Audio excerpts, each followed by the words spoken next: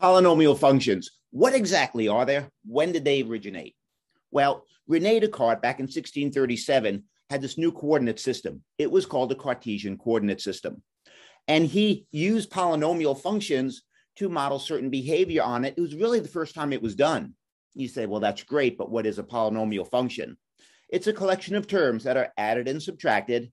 They have a coefficient, a variable, and the variable is raised to a power. And that power or exponent is a positive number, zero, one, two, three, and so on. A positive integer, that is. Take a look at these radio antenna that you see. Their outline is the shape of a parabola, and they transmit radio waves. Uh, too vague, you ask? Well, how about this? Imagine you're shooting a basketball. And when you shoot a basketball, what happens? Well, it goes up and back down. But that path is called a parabolic path. And that parabolic path is that of a path that models a quadratic function, a type polynomial function. In fact, the height of the ball, well, that's the vertex of that particular path. Here you see a polynomial function. And what it is, is a function that models the area of the garden that you see enclosed in the backyard.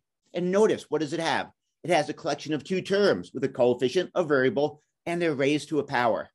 Welcome to the world of polynomial functions.